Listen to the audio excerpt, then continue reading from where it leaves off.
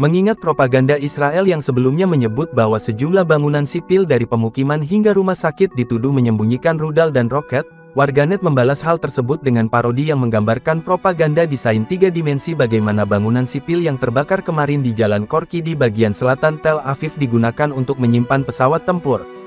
Video ini lantas viral di media sosial dengan narasi seperti, berdasarkan logika Israel maka kini pemukiman sipil di wilayah Tel Aviv sah menjadi target serangan Hizbullah karena Netanyahu menggunakan warga sipil sebagai tameng hidup dan menyimpan F-35 di dalam rumah mereka.